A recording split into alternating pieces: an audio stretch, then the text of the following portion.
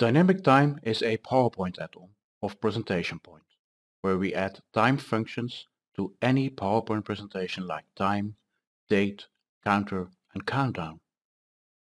With this add-on, you get a PowerPoint presentation with some 40 professional design slides. Let me show you how you can add a clock to your slide.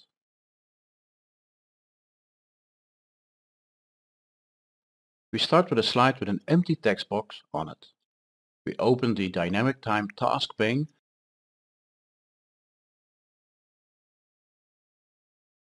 and set the mode to clock.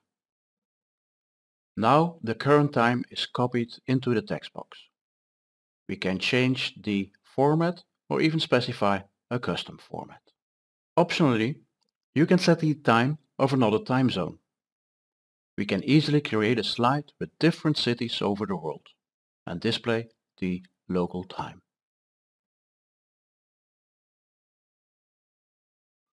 We show the current time of New York, London, Dubai and Sydney.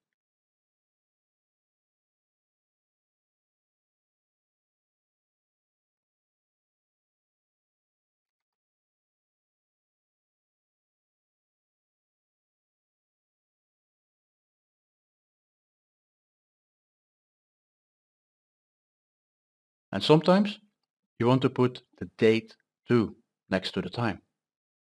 For this we set the text box to date mode. We have some various formatting options and of course a time zone. Now when we run the slideshow we will see that the time and the clock etc is all updated during the slideshow. Find out more about Dynamic Time at presentationpoint.com.